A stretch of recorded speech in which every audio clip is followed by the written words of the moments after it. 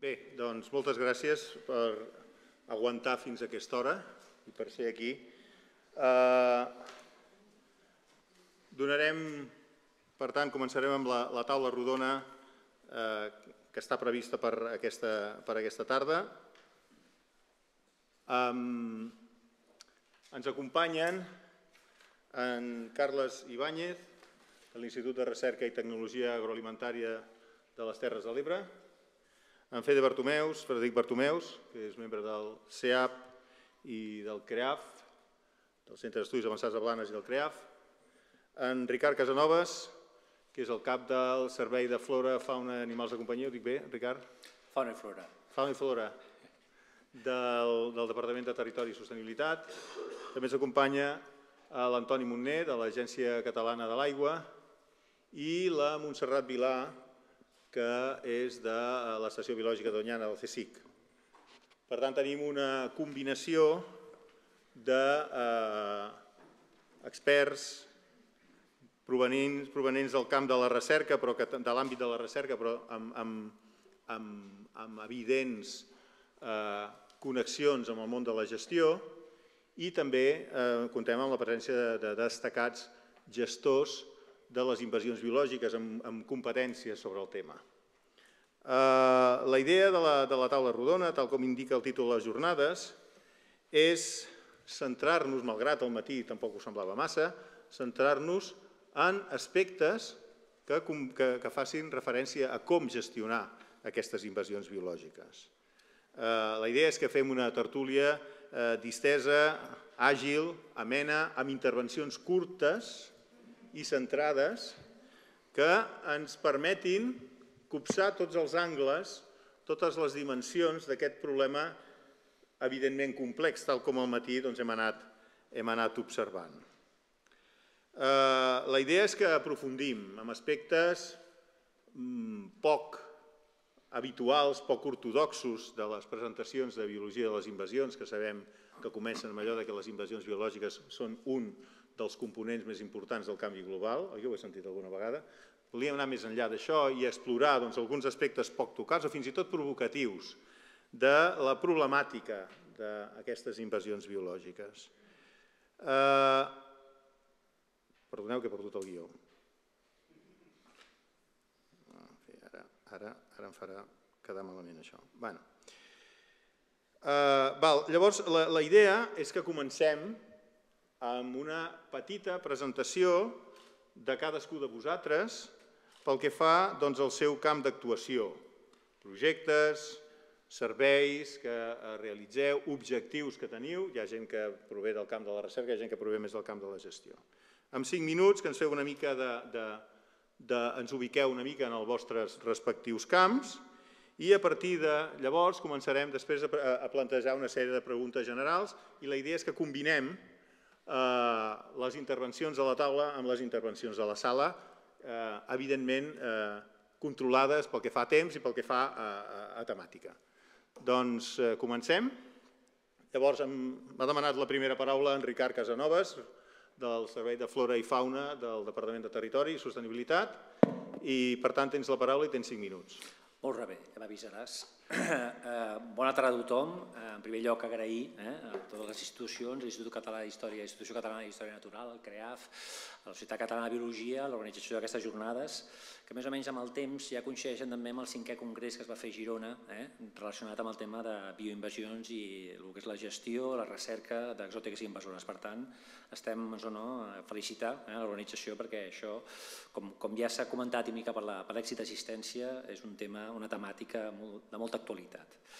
Res, simplement, eh, com a introducció, clar, la nostra feina com a, com a administració, una mica competents amb la, amb la gestió i el control d'exòtiques invasores és justament això, una mica planificar i d'una manera intentar eh, eh, fer convergir el que és la recerca amb el que és la gestió per intentar eh, erradicar, que ja us avanço que és bastant inviable el tema d'erradicar exòtiques invasores, però sí almenys minimitzar els seus impactes que generen tant el que és el sector eh, mediambiental com també el sector econòmic com el sector de salut. Eh? Hi ha moltes implicacions amb el tema exòtics i invasores.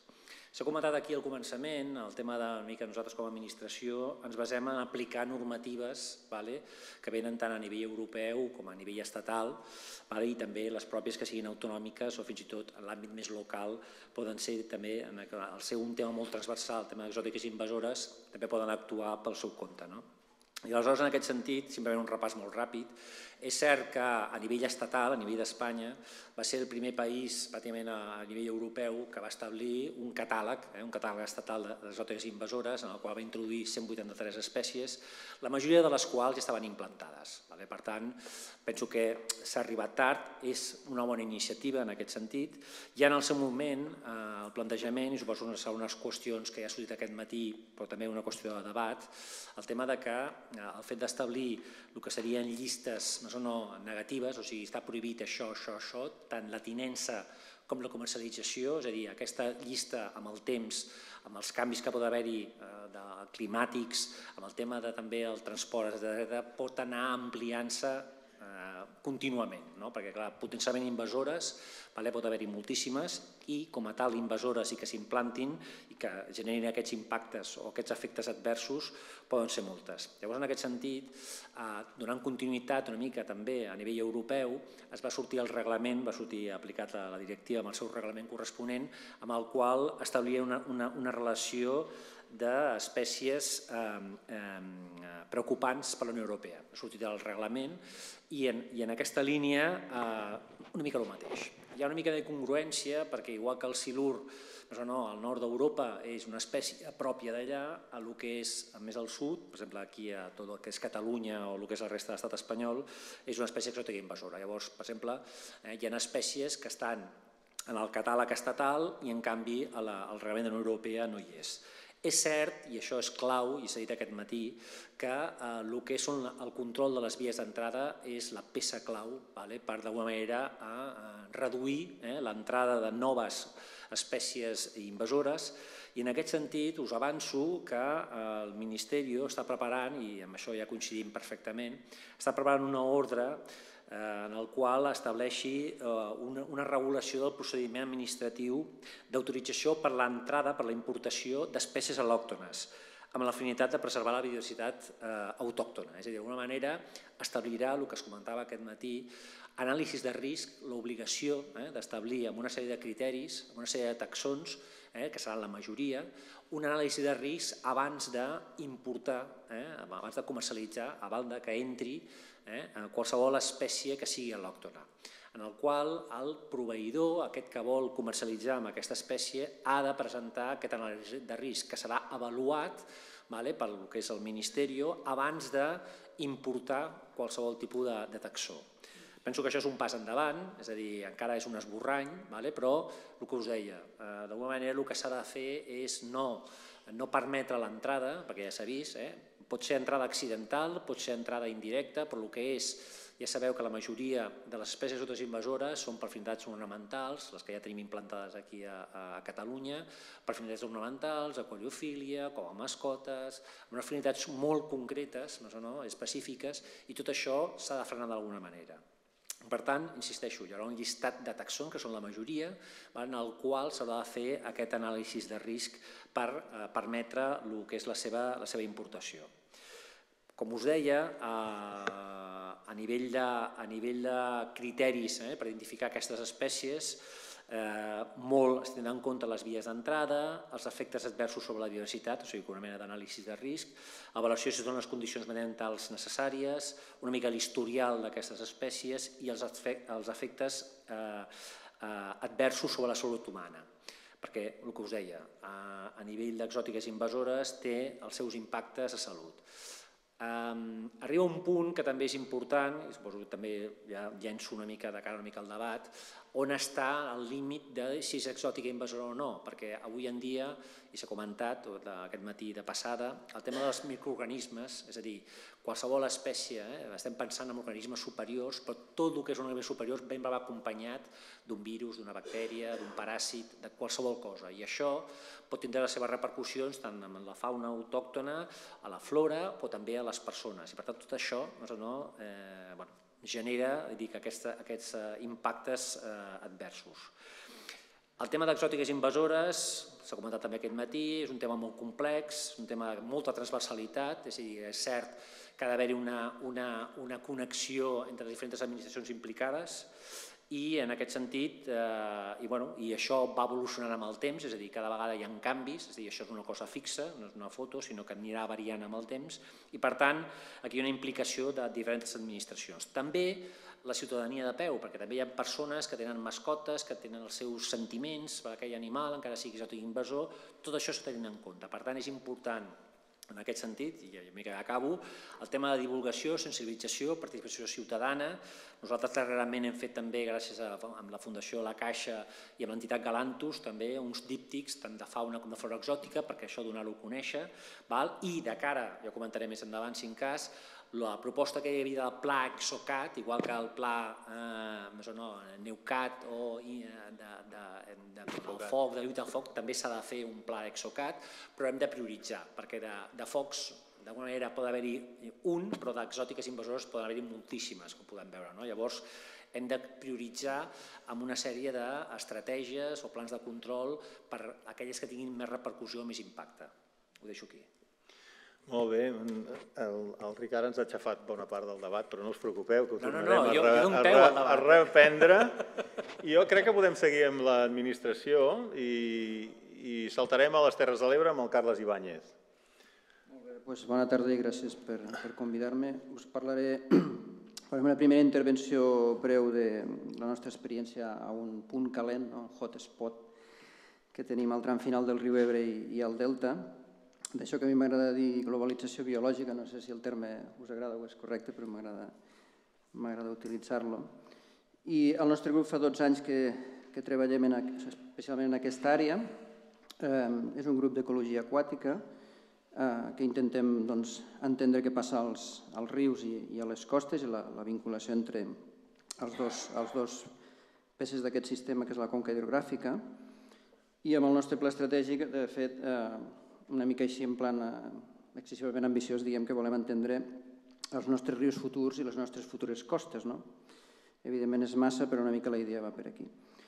I bon, doncs, la majoria de la nostra recerca és aplicada, el finançament sobretot mm, dels projectes competitius ja podreu entendre que en la situació que estem bé de la Unió Europea, perquè és on hi ha els diners, però també d'administracions i de, i d'empreses privades, que en el cas de l'IRTA també és un, un punt fort, crec jo, de la nostra institució de recerca. Molt ràpidament hem fet eh, coses relacionades amb espècies invasores tant al riu com al delta. En el cas del riu eh, hi ha un treball relativament important respecte al musclo sebrat, que va tenir el seu moment de, el seu moment de, d'esplendor i ara no se'n parla, no se'n parla gaire. Eh, també molt en tema de peixos invasors, perquè com ha ensenyat abans eh, a l'Emili, pues, tenim un riu eh, amb una dominància d'invasores brutal i, i temes de bioacumulació amb espècies invasores, no tindré temps d'ara d'explicar-ho, però també a vegades tenen coses positives com que poden ser eh, espècies que ens poden ajudar a monitoritzar coses com la contaminació, no? vam estar implicats amb el, amb el tema de la contaminació de l'embassament de flix i vam utilitzar musclos de brat cranc americà i altres espècies com a, com a indicadores de bioacumulació. En el cas dels peixos hem vist eh, el que també s'ha comentat, abans, la importància de la, de la hidrologia i la relació entre cabals o entre velocitat de l'aigua i domini d'invasores versus natives. En el cas del tram final de l'Ebre hi ha una, una relació clara, això ho tenim publicat a l'Ecological Indicators i crec que és una línia prometedora que ara estem aprofundint i que ens remet a la importància dels cabals i dels cabals ambientals. No? I, I la necessitat de tindre bona, bona informació i bones relacions quantitatives, no només a, a nivell d'espècie, sinó també a nivell de comunitat, com seria el cas que estem eh, doncs això, utilitzant aquest indicador d'espècies invasores versus, eh, versus natives, per eh, tenir indicadors més, més integrats no? de, del sistema. En el cas del mus musclo ha sigut molt interessant i en aquest cas la, lliçó seria a cada lloc és diferent i això ja ho sabem. Eh, la hipòtesi era que el musclo zebrat era el responsable d'aquest aclariment de la, de la terbolesa de l'aigua, no? de la, de la, del col·lapse del fitoplàncton, de fet, que es va produir. Nosaltres el vam descriure un article a Estot en el 2012. Vam ser els primers de, de descriure aquest fenomen que als llacs era molt, molt evident, però no s'havia descrit als rius i també, també va passar i vam demostrar que bàsicament era el fòsfor, com en el cas dels llacs, el responsable. I no només això, sinó que el fet de que el fòsfor, gràcies a tot el tema d'entrar a la Unió Europea, i implantar les depuradores a la Conca de l'Ebre. Eh, va produir la davallada als anys 90 i, i, per tant, immediatament abans de l'entrada del musclo zebrat, ha fet, crec jo, que l'impacte del musclo zebrat i les densitats no hagin sigut tan altes com haurien estat si aquesta fase eutròfica no s'hagués controlat, controlat a temps. No? I per tant aquí també una lliçó de gestió, no? que en aquest cas potser eh, gràcies a la, a la, a la disminució, de, en aquest cas, de la, del fòsfor i de la millora de la qualitat de l'aigua, hem aconseguit que el musclo zebrat no, no ens causi tants problemes. Evidentment, després l'aclariment la, de l'aigua n'ha generat altres, com la dispersió de macròfits, sobretot potamogeton, a l'obèstia, amb la qual la mosca negra, el símbol eritrocephalum, també eh, ha envaït i és, bueno, és espectacular. Això ens remet al tema dels novel ecosístems, etc etc i per tant aquí no tenim temps d'entrar, però és molt interessant a nivell de gestió si després ho volem discutir i no sé com estic de temps. Queda un minut. Un minut, perfecte. Un minut per parlar molt breument del, del Delta i bàsicament per a dir que ara el cas Estrella, ja ho sabeu tots, és, és el caragol poma. No? I jo com a titular aquí diria... Bueno, també hem tingut el tema del cranc americà, que ha passat la fase aquesta d'expansió, d'impactes molt importants i d'ara d'una certa disminució i estabilització, també de un, jugar un rol molt important a la xarxa tròfica, que per tant això ens remet a la, el paper que juguen les, les, les invasores en alguns casos no? com a espècies clau en un nou ecosistema, que de fet són tots els que tenim. I en el cas del caragol poma el titular és eh, que hi ha hagut, mm, hi ha, i espero que no hi hagi, molta politització. I això ens ha complicat molt a tots plegats la, tota la història. Després, si voleu, podem entrar una mica en detall si hi ha temps, perquè és que n'hi ha per fer no sé quantes xerrades. No? Però, bueno, com sempre, s'ha arribat massa tard en la detecció, eh, i la recerca i la gestió han anat poc lligades. Llavors, eh, després ho podem discutir. Bé, gràcies, Carles. També t'he de demanar disculpes perquè t'he col·locat al bàndol de l'administració. L'IRTA és un híbrid entre recerca... Estrictament eh, som un institut de recerca. Sou un institut de recerca, mm, depenent de la Generalitat, i només sou recerca, per tant, perdó. I saltem en Toni Montner, de l'Agència Catalana d'Aigua, aquest sí que el podem ubicar bàsicament dins l'àmbit de l'administració. Gràcies. Eh, primer de tot, eh, donar-vos les gràcies per convidar-me a aquesta taula rodona i poder participar en aquesta sessió. Crec que és molt interessant i també els que heu pogut venir després de dinar, crec que és un exercici doncs, eh, saludable poder venir aquí, fer la digestió i escoltar-nos nosaltres i participar d'aquest debat. Per tant, agrair-vos la vostra assistència. Jo, bueno, el, el Joan em va demanar sobretot que, fos, que féssim unes pinzellades en aquests cinc minuts per després donar peu al debat sí. i a la discussió. I m'he apuntat tres, quatre conceptes que m'agradaria introduir, en tot cas apuntar i després ja podíem entrar més en detall. Un és el tema aquest que ja se n'ha parlat abans, eh, el tema de la qualitat hidromorfològica, la qualitat eh, química, fisicoquímica de l'aigua i com juga aquest paper sobre les, espècies invasores, la, la, la proliferació, la dispersió d'espècies invasores. Nosaltres el que estem veient això, que ja s'ha apuntat aquest matí, és que eh, la qualitat química de les aigües des d'un punt de vista fisicoquímic de nutrients ha anat millorant, ja portem més de 500 depuradores construïdes a, a Catalunya i això es va notant, la qualitat de l'aigua va, va millorant, però això fa que evidenciï cada cop més una manca de qualitat hidromorfològica, una manca de qualitat d'hàbitats, una mala estructuració d'aquests hàbitats, manca de cabals, i això, en certa manera, ha fet, diguéssim, cada cop proliferar o, o donar avantatges a que puguin proliferar, establir-se, incorporar-se, in, in, in, entrar eh, espècies exòtiques en alguns, eh, i que poden arribar a ser eh, invasores en alguns casos. No? Eh, això ho estem detectant i, de fet, eh, ho, hem, ho hem plasmat d'aquesta manera en un document que es diu document imprès. No sé si esteu familiaritzats amb la directiva Mar de l'Aigua, és una directiva que es va aprovar l'any 2000 i que insta els, els organismes de conca a cada sis anys fer uns plans de conca, però previ a fer aquests plans de conca, els organismes de conca el que han de fer és una diagnosi de les principals pressions i impactes que hi ha en cada massa d'aigua. Això són els, es diu document imprès. En vam fer un ja l'any 2005, el vam revisar el 2013 i ara estem a, punt de tornar-lo a revisar el 2019. En el document ja de 2013 eh, que va fer l'Agència Catalana de l'Aigua sobre les masses d'aigua a Catalunya ja s'evidenciava una increixent, un increment de la pressió d'espècies invasores, del problema de les espècies invasores sobre les masses d'aigua, passant a ser probablement el primer problema ja amb, el, amb, amb la categoria rius, sobretot embassaments, perquè evidentment allò és un cau d'espècies invasores, i amb, els, amb algunes altres masses d'aigua, com són les aigües costaneres, també creixent molt, a diferència del, del document que havíem fet l'any 2005. Eh? I això, en certa manera, ho, vinculàvem, diguéssim, en aquesta millora de la qualitat fisicoquímica, però que no pas de la qualitat hidromorfològica, no? el tema de manca de cabals, estructuració d'hàbitats, etc. No?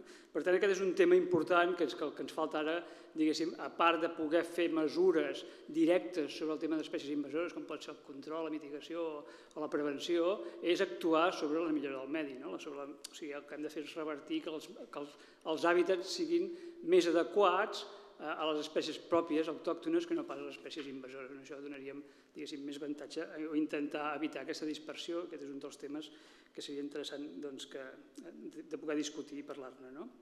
Un altre tema interessant també és un dilema que s'ha donat a nivell europeu, eh, eh, quan, vinculat a la directiva Mar de l'Aigua. Eh, la directiva Mar de l'Aigua parla de que s'ha d'assolir el bon estat ecològic i s'ha de fer servir indicadors biològics per analitzar aquest estat ecològic llavors hi va haver una discussió, hi va haver un grup de, de treball a nivell de Comissió Europea que es debatia sobre com teníem que considerar les espècies invasores, si com a indicadors pròpiament o com a pressió, eh, com a problema, o com a indicador propi. No? Això hi va haver bastant de debat. Nosaltres val a dir aquí eh, que estàvem més del cantó d'utilitzar-lo com a pressió, més que no pas com a indicador. Tot i que amb alguns indicadors que hem utilitzat, com és l'indicadors de peixos, hi ha algunes mètriques que fan servir espècies invasores. També en estanys i llacs hem utilitzat les espècies invasores com a mètrica per analitzar l'estat actual. No? Però, de fet, els indicadors biològics per avaluar l'estat de les masses d'aigua, com diu la directiva, han d'analitzar l'estructura i el funcionament dels ecosistemes. I no necessàriament, com s'ha dit aquest matí, una espècie invasora que sigui o no sigui pot alterar l'estructura de l'ecosistema. Pot ser que sí o pot ser que no. no? Per tant, que fer servir l'espècie invasora com a indicador no creiem que, que era fos el més adequat. O sigui, tu pots fer servir indicadors i mirar com funciona l'estructura, funciona bé o malament, i després tenir l'element espècie invasora mesurat d'un altre també mesurat, però utilitzat com a pressió. Eh? De fet, el que, fa, el que fa el document imprès aquest és tu analitzes l'estat de les masses d'aigua amb indicadors, ho contrastes amb les pressions i acabes buscant solucions als problemes que has identificat. No? I aquí ha un petit dilema si com el fem servir, com a indicador o com a pressió i, i, i com, pot, com pot això intercedir amb el, amb el tema de la gestió de les espècies invasores. No? Un altre tema que m'agradaria comentar-vos és com estem actuant des de l'Agència Catalana de l'Aigua amb el tema d'espècies invasores. Eh? Bàsicament estem portem quatre, tres línies de treball, una seria el control, l'altra seria la prevenció i, i, i finalment la mitigació. El tema del control, tenim una xarxa de control operativa, se n'ha parlat també aquest matí, amb xarxes amb aigües costaneres, també el tema del musclo zebrat, amb rius, amb embassaments. Això fem un control rutinari, eh, que anem alimentant una base de dades. Eh, eh, el tema de la prevenció, tenim algunes línies de treball també obertes, eh, tenim l'Exocat, eh, que és una peça, diguéssim, un mòdul dins l'Ex...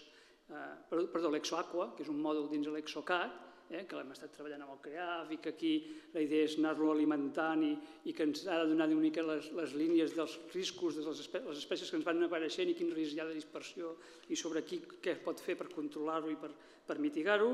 Eh, tenim els plans d'usos d'embassaments, tenim els protocols de neteja amb els embassaments, etc eh, etc. no? Eh, el tema de les autoritzacions d'abocament, també és molt interessant això.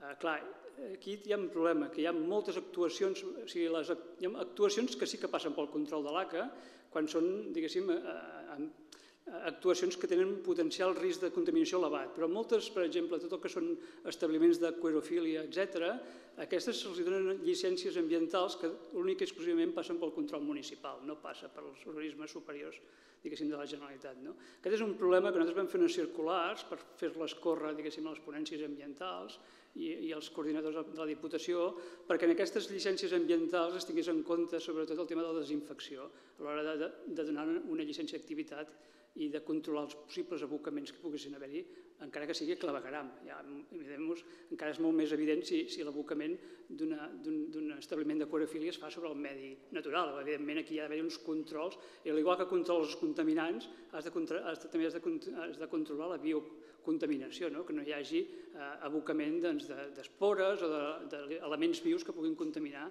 des d'un punt de vista biològic, amb espècies invasores exòtiques al medi. No? Però després hi ha altres establiments que estan dins les ciutats, que s'aboquen als sistemes de clavegram, i aquests sistemes de clavegram no són estancs, eh? tot i que passen per un sistema depuració i tal, eh, moltes vegades la, la capacitat de supervivència d'algunes espècies doncs, pot anar més enllà i pot acabar en el medi. No? I aquí sí que és important poder incidir i poder posar eh, les, les, els controls pertinents. Eh, val a dir, ja ho lligo amb el tema, un altre tema que m'agradaria interessant que seríem, podíem parlar, és la, la normativa. Un, un minut, Toni. Un minut, un minut. acabo. La normativa. La normativa no ens acaba d'ajudar. Eh? Sí que és veritat que, que s'ha fet un pas molt interessant, però després hi va haver en el seu moment una, una llei òmnibus que, que va simplificar molt tots els temes, els tràmits administratius, i això és bo per l'administrat, perquè evidentment no ha de passar uns controls eh, administratius rutinaris molt farragosos, però, per altra banda, tot el tema d'autoritzacions, per exemple, o tot el tema de navegació, que és caiacs que es fan servir d'un embassament cap a un altre, etc. Eh, únic i exclusivament, actualment, amb aquesta llei òmnibus, abans estaven subjectes a una autorització d'abocament, a una autorització de navegació, per exemple, que tu tenies capacitat de controlar-lo i no el deixaves navegar, sinó hi havia uns controls de neteja, etc. Ara això s'ha fulminat i amb una simple declaració responsable del titular n'hi ha prou. O sigui, el responsable fa una declaració responsable que diu Eh, que sí que ho fa bé i que ha desinfectat i aquest senyor pot anar a navegar a qualsevol lloc. No? Això, evidentment, eh, és un risc, eh? és un risc i no, no ens ajuda massa. Eh, el catàleg espanyol que s'ha comentat del Real Decret de 2013, eh, també la llista europea, eh, bueno, aquí hi ha molts lobbies de pressió, ja va haver-hi un Consell de Ministres que això ho va tocar i ara més recentment hi ha hagut una proposició de llei eh, que va sortir publicada al BOE a finals del mes passat, el 26 d'octubre de 2017, en el qual insta el govern de l'estat espanyol a modificar la llei de biodiversitat estatal perquè totes aquelles espècies que estaven introduïdes abans de 2007, que és quan va sortir la llei, no siguin considerades en les restriccions que, que després es van, es van restringir amb el, amb el Real Decret aquest d'espècies invasores. No? Tot el tema de si les pesques no les pots tornar a dintre el medi, doncs tot això el que volen és que totes les espècies aquestes que estaven ja abans de 2007 no siguin considerades d'aquesta manera. No? Tot això és fruit dels lobbies doncs, que hi ha de pescadors, de tot el tema dels caçadors, etc que això té molt de pes diguéssim, dins de les decisions eh, governamentals i, i que acaben amb les legislacions. Eh? I bueno, tenia més coses, però com que ja ens hem exaurit, ja ho anirem discutint. Passem la paraula a la doctora Montsevilà. La única dona de la taula, teníem també prevista la presència de la doctora Maria Guirado, de la Diputació de Girona, que no ha pogut venir per circumstàncies personals i, i que, ens, que ens, ha demanat, ens ha demanat que l'excusem. Per tant, Montserrat, endavant. Moltes gràcies. Bé, nosaltres, fora de la recerca, el que hem fet ha sigut el desenvolupament d'alguns anàlisis de risc, d'aquests semiquantitatius, protocols que poguessin ser útils doncs, de cares a la gestió, de cares a gent que potser tampoc és experta en el tema, o sigui, però que tingui una eina de manera que pugui d'alguna manera prioritzar quines espècies causen més impactes o no. Personalment també participo en el fòrum científic de la regulació europea i una de les principals tasques que tenim és que quan arriba una anàlisi de risc i qualsevol persona o qualsevol estat membre pot preparar una anàlisi de risc, doncs mirem que sigui fidedigne, que estigui complert, que tingui tots els components que la legislació doncs, diu que ha de tenir. Però no ens posem després nosaltres si aquesta espècie ha d'estar llistada o no, perquè Tal com tu dius, això és una qüestió després dels diferents ministeris dels diferents estats membres que discuteixen si aquesta espècie la posen o no la posen segons els hi convé. No? Eh, o sigui que la nostra tasca és científica, veure que la informació que s'ha proporcionat d'una espècie determinada és complerta o no complerta o ben referenciada.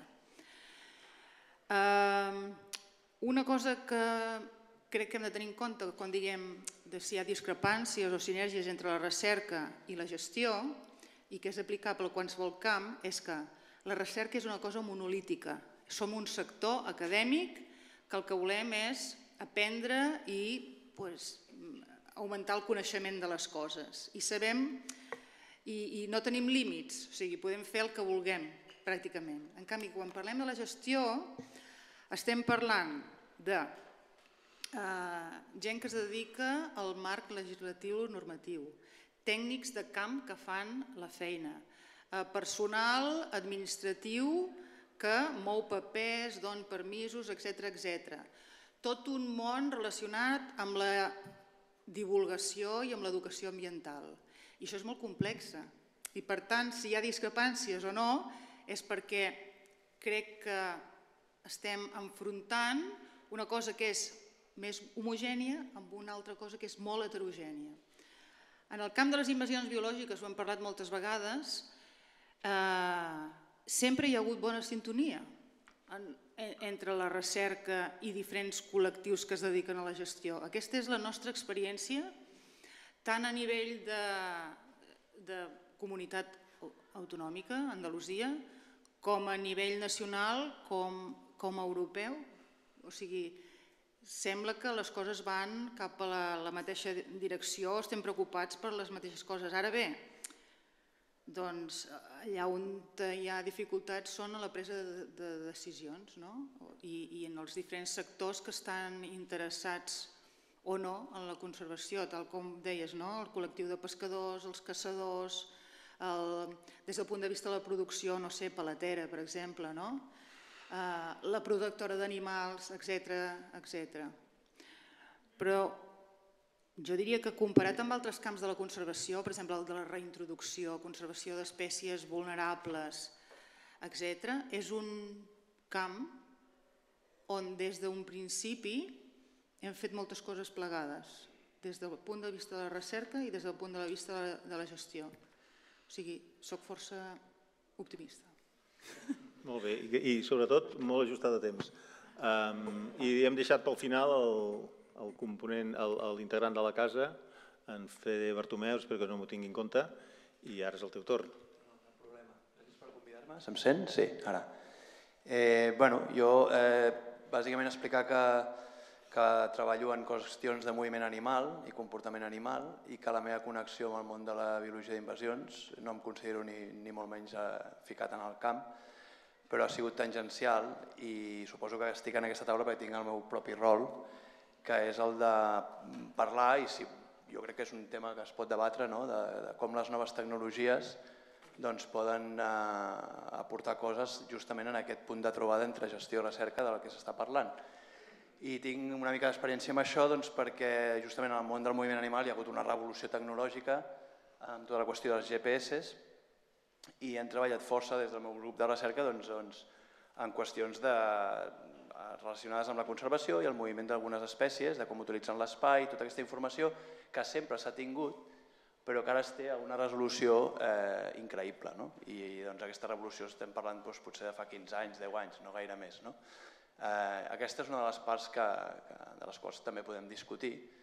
I eh, una altra de les qüestions en les que he estat treballant eh, relacionat amb noves tecnologies amb els telèfons mòbils, Eh, vaig començar treballant en qüestions de mobilitat humana, eh, utilitzant els telèfons mòbils per saber com es bellugaven les persones. No? Considero que les persones són animals, també, i hi ha moltes coses interessants a aprendre del moviment de les persones des del punt de vista de, l'ecologia i crec des, des del punt de vista de la conservació, donat que nosaltres som inductors no? de moltes d'aquestes introduccions, doncs una de les coses que llenço aquí ja a l'audiència és per què no estudiar l'espècie humana com, com a espècie humana com a tal, perquè potser en alguns d'aquests estudis eh, trobarem solucions a alguns dels problemes d'invasions que tenim. Eh, dit això, eh, una mica el projecte estrella pel qual crec que estic aquí és el, el que estem fent amb els, amb els mosquits. Eh, és un projecte que es diu Mosquito Alert. en el que utilitzem eh, doncs una aplicació de mòbil perquè els ciutadans ens informin de la presència d'aquest mosquit i dels seus punts de cria. Aquest projecte ja fa quatre anys que circula, eh, és un projecte diguéssim, que s'emmarca dintre del concepte de ciència ciutadana, de participació eh, ciutadana.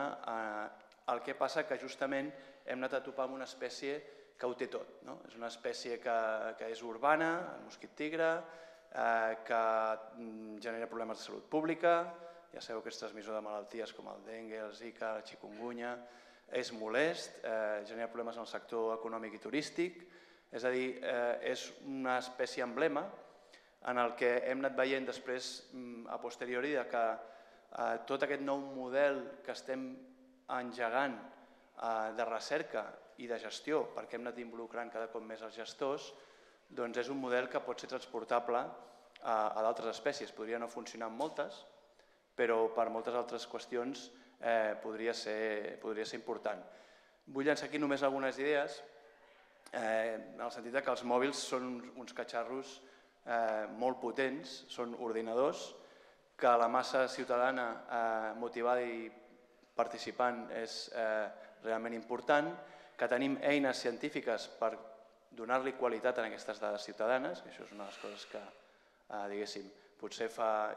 Quan jo vaig començar amb tot això com a científic era, era, era molt crític, no? de fins a quin punt la qualitat d'aquest tipus de dades pot ser útil per a, per a la ciència i per a la gestió, doncs després de quatre anys eh, puc dir que sí, que es poden, es poden fer moltes coses i que la qualitat és molt bona sempre i quan es treballi aquesta dada científicament. No? Eh, elements interessants, és a dir, des d'un mòbil tu pots sensibilitzar la ciutadania, els hi pots informar, eh, pots tenir unes comunitats actives i relacionar-te de forma directa eh, amb, amb la problemàtica i amb certs sectors que estan molt a prop de la problemàtica. Eh, jo vinc del món de la recerca i ara cada cop més veig que aquestes eines doncs, eh, per les administracions són clarament unes eines de futur. És a dir, també la la telefonia mòbil implica transparència, implica doncs, que si jo tinc una aplicació mòbil on estic informant d'una sèrie de coses i ho puc fer a quasi temps real o puc controlar els temps d'aquesta informació, doncs això doncs, requereix unes responsabilitats. No? És a dir, és un debat interessant que jo deixo aquí, no m'allargaré gaire més, eh, i aquesta és una mica la part d'experiència que jo puc aportar en, en tot aquest debat. Molt bé gràcies als cinc per ajustar-vos bastant al temps. I la, la idea que tenia, la, la primera pregunta que volia plantejar, primer vosaltres, però també a, a, a alguns de vosaltres, i, però també amb intervencions a la sala, és una mena de carta als Reis, com a gestors, especialment dirigit als gestors. Eh, què esperaríeu? Què voldríeu en un món ideal que us proporcionés la recerca? Ras i curt. Qui comença? Sí, aquí sí. Està tot gravat, eh, Toni? Així m'ho donaré, doncs. Començo jo? No, a veure, no sé, a veure, jo crec que el tema interessant és el tema relació pressió-impacte, és interessant conèixer això. No? El tema riscos, el tema... O sigui, els gestors el que ens interessa bastant és conèixer quines són els possibles riscos que pot haver-hi. Primer, el tema de vulnerabilitats del sistema a l'hora de ser envaït o no ser envaït. No? O sigui, anàlisis de risc, i després, un cop si arriba a ser envaït, quina capacitat de dispersió o de possible afecció pot tenir de, de les possibles espècies. Això és un tema que és tot un, una línia de treball que, que, que bueno, tot això s'hi va millorant i cada cop hi ha més coneixement al respecte i per tant és, és interessant. No? Per l'altra banda, eh, també és interessant els sistemes de, ja anem, anem més específics, ja els, el tema de, de control de dispersió i mitigació del problema. No? I aquí nosaltres ens hem trobat molt, per exemple, amb el musclo zebrat, que ha sigut l'estrella, però ara trobem amb, amb el carbocal poma, amb la cruïssa asiàtica, que, per exemple, la cruïssa asiàtica, doncs ara, no, Banyoles, no? Doncs, d'un cop i volta hem trobat un focus allà, que encara hi som a temps d'actuar, perquè el problema de la mitigació, l'erradicació, és pràcticament impossible quan l'espècie doncs, ja ha colonitzat un espai suficient que allò ja has d'intentar conviure amb ella, no? però quan és incipient, que és quan pots actuar i pots per eh, diguéssim, reduir, inclús mitigar el problema completament, eh, doncs, eh, sistemes de, de, de, diguéssim, que, que fiables de, diguéssim, de, de, de, d'ex- d'extracció i erradicació d'aquesta espècie. No? Amb el tema de la pluja acètica, com t'he dit, ens hem trobat que estava incipient a Banyoles, hem fet diverses proves, però anem una miqueta cegues. I Per, per tant, demanaries als científics que posessin a punt mètodes d'anàlisi del risc, d'invasió i d'expansió i mètodes de control. Ricard.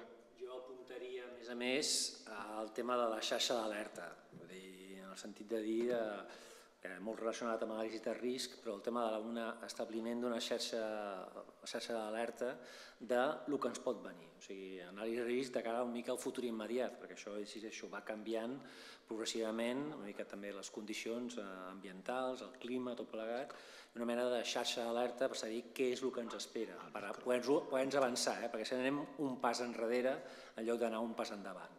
Llavors, bueno, això, una mica el que deia el Toni, en tema d'anàlisi de risc, i el tema tant de dic, recerca sempre aplicada, lògicament, eh? tenint en compte la recerca bàsica, però clar, el tema del control és que això és un...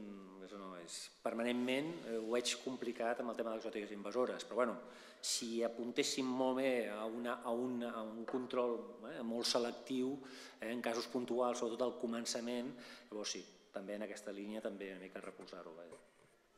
No sé si alguns de, algun altre membre de la sala vol aportar alguna cosa més eh, i, de, i, de la taula, perdó, i després donem pas a la, a la sala, perquè a la sala hi ha gestors i també hi ha gent que es dedica a la recerca i que estan en contacte amb els gestors i per tant també podeu replicar. Eh, Sí, un Carles. comentari sobre el tema de que al final la disponibilitat de recursos és el que també marca una mica... Sí, no? hem, par O- hem parlat d'una carta als Reis, eh? És a Sí, dir, però una carta als Reis que Sí. està condicionada per, Sí, exacte, ja ho per l'escassetat de recursos i on, on invertim, on prioritzem la inversió. No? I jo diria que en tot, el, en tot el cicle, des de prevenció, detecció i alerta, erradicació o intent d'erradicació, control i, i adaptació, tot és important, però també el, el seguiment pròpiament dit. Jo crec que el seguiment en tot el cicle és importantíssim, perquè si no hi ha seguiment no pot haver detecció, no pot haver alerta, no pot haver intent d'erradicació al moment adequat, i després tampoc pot haver informació fiable de si la eh, gestió que s'està fent o l'adaptació és realment està tenint uns resultats o el resultat seria el mateix si no estiguéssim invertint res. No? Jo crec que això és molt rellevant. Donem per fet moltes coses que a lo millor no són tan òbvies i aquí, evidentment, la recerca també juga un paper important i sobretot en aquest punt de, de fer un seguiment eh, amb, amb criteris científics també, perquè de vegades fem seguiments que potser, eh, per exemple, estadísticament no són massa significatius i estem perdent recursos. Carles, una pregunta. M'ha semblat que aquesta demanda no era tant de la gestió a la recerca com de la recerca a la gestió, perquè aquest seguiment el fa, eh, l'hauria- és el qui fa, qui fa les actuacions, no?, en principi? Uh, sí, però vull dir... No, no, ja està bé, ja està bé que surti. És a dir, lo, en tot cas l'observació és que si continuem tenint molts de problemes i problemes creixents vol dir que el seguiment que estem fent no l'estem fent suficientment bé. No? Sí, sí, sí. Uh, no sé si algú més a la taula vol intervenir ara, però si no passem a la sala. A veure si hi ha alguna paraula a la sala o... Uh, curtes i concretes. molt concret, no sé si me- se m'encenten. Tinc una pregunta eh, més dirigida cap als, ecòlegs més que als gestors i potser una mica subversiva en aquest sentit, ja veureu. Eh, estic pensant en espècies invasores que serien residuals, pràcticament insignificants des del punt de vista estadístic. Estic pensant en situacions com ara espècies que hagin sigut objecte d'expoli als seus hàbitats d'origen i fruit de comerç i hagin vingut cap aquí a, casa nostra a, a través del comerç d'exòtics i, i, i la pregunta seria, és, no és inversemblant eh, pensar que es pugui donar algun cas a una espècie invasora de qualsevol taxó, pot ser aquàtica, au, mamífer, que estigués aquí però el seu hàbitat pugui estar amenaçat, restringit, de, destruït en origen. Podria ser el cas de trobar-nos amb una espècie invasora que tingui, per exemple, una, una distribució molt concreta aquí, que no fos una espècie que alterés greument l'ecosistema, que pogués ter un reservori per un futur reimplantar-la ja al seu origen, o sigui, pot tenir un sentit de conservació una situació com aquesta, que no ser, que Bueno, ser una eh, inversió. és una pregunta que realment ens allunya una mica del que estàvem parlant ara. En tot cas, hi ha molts exemples. El cas de Cortaderia potser és dels més paradigmàtics. Una espècie de la pampa humida que està en regressió al seu hàbitat natural eh, i és l'únic lloc on està en regressió. És a dir, la resta del món mundial és, és una espècie invasora. Per tant, hi ha moltes espècies que podrien estar en aquesta situació. És una pregunta, un comentari que el podem guardar, si de cas, més endavant, i seguim una mica en aquest sentit de dir, val, eh, teníem tres, tres elements damunt de la, de la taula, l'anàlisi dels riscos, els mètodes de control, les xarxes d'alerta, que són demandes que ens fan des de la gestió cap, a la, cap, a la, cap al món de la recerca. Les podríem concretar una mica més? Per exemple, tots aquests models d'anàlisi de risc us serveixen d'alguna cosa?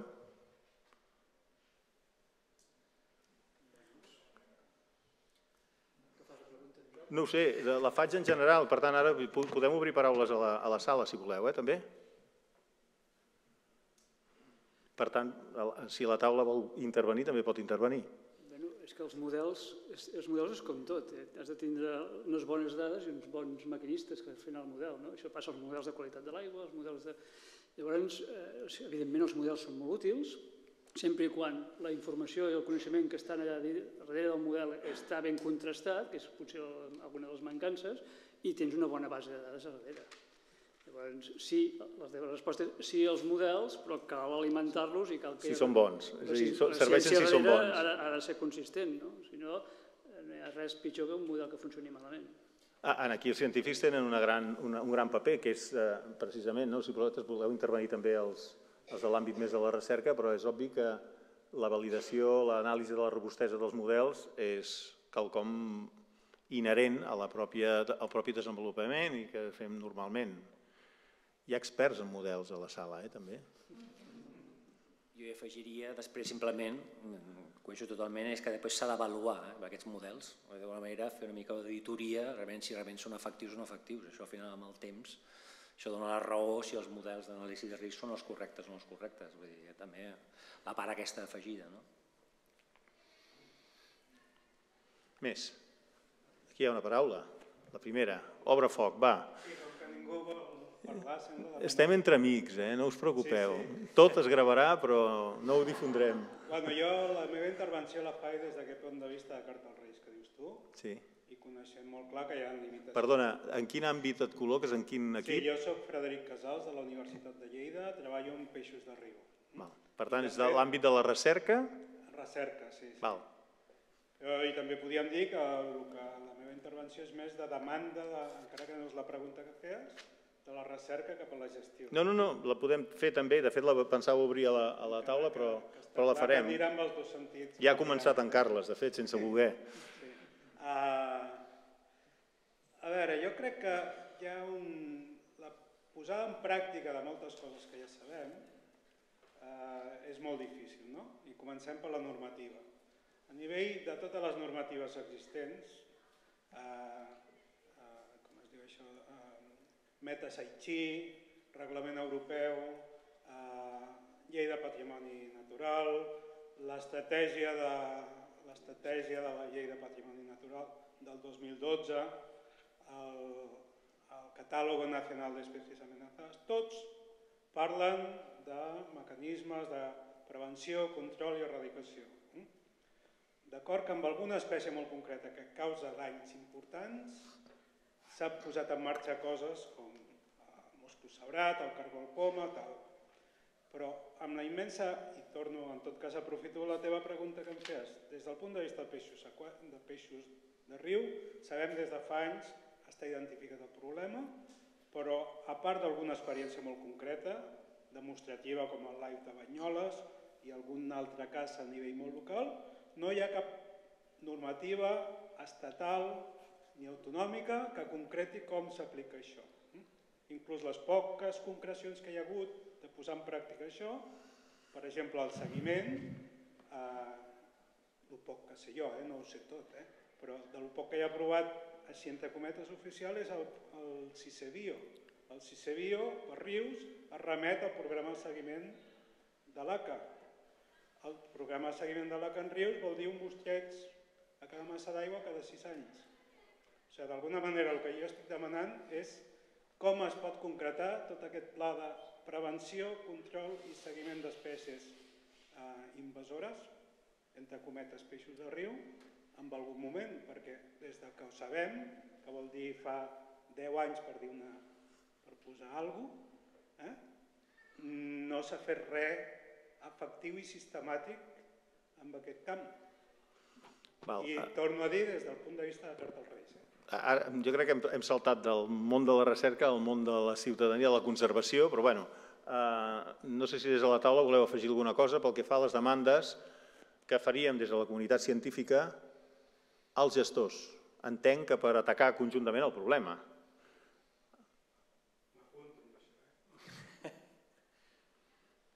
Alguna intervenció de la taula? No? Alguna intervenció de la sala? Allà baix hi ha una... Ui. August, eh, brevetat. Sí, intentaré ser breu. Bueno, bàsicament faré una proposta un xic, un xic provocadora i potser herètica, no? però què passa? El mercat de les mascotes és un mercat eh, globalitzat. Aleshores, quan una espècie és un problema, es prohibeix, però es comercialitza una molt semblant que un cop alliberada del medi farà el mateix. Doncs la meva proposta era eh, per què no agafem i ens dediquem a comercialitzar mascotes que siguin autòctones? És a dir, ja sé que està prohibit tenir tortuga de rierol, però si criéssim tortuga de rierol i la venguéssim a la seva àrea de distribució, el, el que la tindria, si prengués l'errònia eh, idea d'alliberar-la, no seria cap problema. Què vull dir? Que potser hauríem, com, com es parla del quilòmetre zero amb aliments del, de la zona, doncs utilitzar eh, material vegetal, utilitzar mascotes de la zona i, i definitivament doncs, és a dir, eh, no utilitzar espècies d'un altre lloc. És a dir, aquesta seria la idea. Hauríem de canviar el rètol de les botigues que es diuen fauna exòtica, no? però bueno, eh, apuntem-ho, però intentem tornar al, a la, al debat. Hi ha alguna intervenció més que vulgueu fer en relació amb el que comentàvem? Sí. Al respecte, voldria dir que en el cas de la, de la planta ornamental, cap aquí ja s'hi ja va. O sigui, de triar espècies que potser també atreguin a polinitzadors, eh, que aguantin la sequera, etc i que s'utilitzin espècies natives, això ja es fa. En el cas de les mascotes no hi havia pensat. Val. Però... La Mili, no era? Uh, oh, bona tarda. Mm, jo treballo que de biòleg en un parc natural, el Parc Natural de la Zona Volcànica de la Garrotxa, i per tant em posiciono clarament la banda de la gestió. Eh? Uh, responent a la pregunta, ens serveixen aquests models teòrics uh, a l'hora de fer front a les problemàtiques derivades de la presència d'espècies invasores? La meva resposta clara és no. Per què? Perquè en tot cas, eh, quan consultem el model, l'espècie ja la tenim. Eh, i, I moltes vegades, és a dir, aquest tema de la prevenció i de, la, de les xarxes de prealerta, eh, el dia a dia fa que, que tu no estiguis pendent del que et pot venir, sinó que eh, et trobes el que et trobes. I, i constantment, segurament que fa 10 anys enrere o 20, la problemàtica de les espècies invasores no existia en la gestió dels espais naturals protegits i ara sí que és veritat que ens ocupa una part del temps important. I el que jo demanaria, la demanda de la gestió cap a la recerca, seria que ens ajudessin a, a definir o, o, o concretar l'eficàcia dels sistemes d'erradicació i de control que s'utilitzen. Eh, quan apareix una espècie, apareixen tota mena de sistemes per erradicar-les. Estem gastant multitud de diners, moltes vegades públics, en buscar eh, quin és el millor sistema. I aleshores dediquem un temps a, a, a provar un sistema i aleshores ens donem compte que, que no, que no és ni eficient ni eficaç i que per tant estem perdent el temps. I el que jo el que sí que demanaria seria una d'aquesta demanda de la gestió a la recerca, eh, de fer recerca aplicada, recerca aplicada a la gestió. Estem fent molta recerca acadèmica, models teòrics, eh, però la recerca aplicada a la gestió eh, és una demanda clara eh, i molt, molt concreta eh, en, en qüestió d'espècies invasores. Molt bé. Puc comentar una cosa? Eh, sí. Eh, jo, jo estic d'acord i sóc teòric i modelador, eh? o sigui, no hi crec gaire en els models per solucionar problemes de, de gestió en el territori, però, però deixa'm dir algunes coses. Eh, crec que s'ha parlat aquí d'anticipació, crec que un dels papers de la ciència és justament anticipar. No? Si el teu model arriba tard i dius, veus, que jo ja et predeia que aquí, eh, veus, jo, jo ja t'ho deia, veus, el model està sortint que efectivament això és un problema i el problema ja ha passat, el model pot ser molt bo però és inútil. No? Hem, hem, el Toni parlava que els models han de ser bons i els models han de ser útils no? per a la gestió. És aquesta via d'aplicació és la utilitat, no, no tant la qualitat. A vegades potser hi ha un model que no pot ser científicament o qualitativament tan bo, però és molt útil perquè aporta un mecanisme que ningú havia vist o aporta unes idees que, que són útils per la gestió. No? Llavors, clar, el món dels models és, és complex. No? Eh, jo sí que crec que crec que un dels problemes fonamentals que, que, que he comentat després a l'hora de dinar així és aquest desacoplament temporal, aquestes escales temporals de la ciència respecte a la gestió, que té a veure amb això que estaves comentant, no? que la ciència ens movem amb unes dinàmiques i uns temps, eh, volem estar molt segurs de les coses que diem i la gestió doncs, eh, és el dia a dia eh, apagar focs constantment. No? Eh, clar, per mi aquest punt de trobada, eh, si, si, si penseu, és un, és un punt una mica molt, molt de físic, no? és a dir, hi ha un punt de trobada molt clar que és el territori, o sigui, el territori ens ajuda enfocar les coses, és a dir, que tenim el problema aquí, en aquest context, etc etc. però aquest tema de les, del temps, no? o sigui, una cosa, l'espai ens ajuda a, a trobar punts de referència comuns entre investigadors i, i gestors, però el que és el temps no. I, I jo crec que aquí les noves tecnologies, com deia, poden aportar. És a dir, eh, què s'està fent, per exemple, en el cas dels mosquits? És a dir, tu tens uns ciutadans que aporten una informació a temps real o molt ràpida i pots alimentar un model amb aquesta informació. O sigui, gran part dels problemes dels models és que quan, com, com deia el Toni, no? si tens ja una bona base de dades, tu fas un model, pots fer unes anticipes, pots anticipar, això pot ajudar a anticipar certes coses, però del teu dia a dia, de les coses que estan passant al moment, eh, et sap dir molt poques coses. No? Si, eh, per què? Pues perquè és un model que no... Per tornar a recopilar aquest munt de dades i tornar a fer, no? tornar a córrer el model a veure com han canviat les coses, necessites molt de temps. Doncs ara amb els telèfons mòbils ja no és així. És a dir, aquestes dades es poden aportar a temps real eh, i jo puc avaluar a temps quasi real doncs, què està passant i justament si tinc informació de les accions, això que deies, no? és un altre component on la ciència pot entrar molt, és en, en l'avaluació d'aquests eh, mecanismes de control. No? Doncs això es pot arribar a fer a temps real. Per posar-vos un exemple pràctic, eh, l'Agència de Salut Pública de Barcelona, aquí a Barcelona, està utilitzant aquesta plataforma de mosquits, no? de, de Mosquito Alert, per fer el seu control a la ciutat eh, de les poblacions de mosquit tigre. Perquè el mosquit, sobretot els punts de cria bàsics són els embornals, el clavegaram, hi ha uns 75.000 clavegarams a Barcelona i la seva gestió, doncs, òbviament saben quines zones són les de risc. Són gent que ja sap quines, quins són els barris que tenen més problemes de mosquits però el dia a dia, depenent de si ha plogut o no ha plogut, o han, fet, han regat aquest parc o no, és molt diferent de, de, de, de la realitat. No? I aleshores acoplar aquests temps del dia a dia amb informació que pugui passar ràpidament cap a un procés més analític eh, i científic, doncs és part de la gràcia que jo li veig a, a les noves tecnologies. No? I crec que això de les escales de temps ens frena molt a trobar aquests punts d'unió entre recerca i gestió. Hi havia aquí una, una paraula a la, a, la, a la sala i després et passo tu, Toni. Jo volia fer una pregunta també, però bueno, ja la... Va. Bueno, no, no té molt a veure amb el que deia el Fede, però eh, m'agradaria fer, intentant ser breu, un, un símil amb el món mèdic, perquè té molts paral·lelismes. Eh, el món de la medicina també tracta, diguéssim, malalts, eh, cossos humans que són sistemes complexos, que tenen respostes moltes vegades eh, difícils d'interpretar, i té moltes pressions també de lobbies eh, de, recerca, farmacèutica, tots, tots coneixem com funciona tot això. Aleshores, una cosa que em va cridar molt l'atenció és que eh, en el món, per exemple, de l'oncologia, on hi ha una recerca molt potenta, hi ha moltes pressions, eh, els metges han, han descobert, i els, i els investigadors han descobert, que, que les persones, els homes, som, eh, que molta gent eh, té tumors, passa càncers i ni tan sols s'arriben a detectar. Eh, això té el paral·lelisme que moltes espècies arriben a un lloc de manera artificial, eh? són exòtiques, però no ens arribem a enterar perquè moren abans de que nosaltres les arribem a detectar.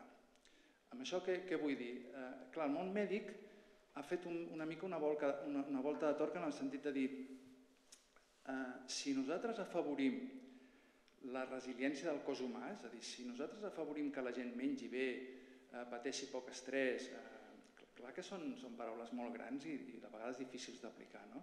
El, mate, el, mateix, el mateix ésser humà és, és molt resilient. No? I, el, I el paral·lelisme és que els sistemes naturals són molt resilients. molt resilients i si nosaltres afavorim aquesta resiliència, molts d'aquests problemes la mateixa natura s'encarregarà de resoldre'ls.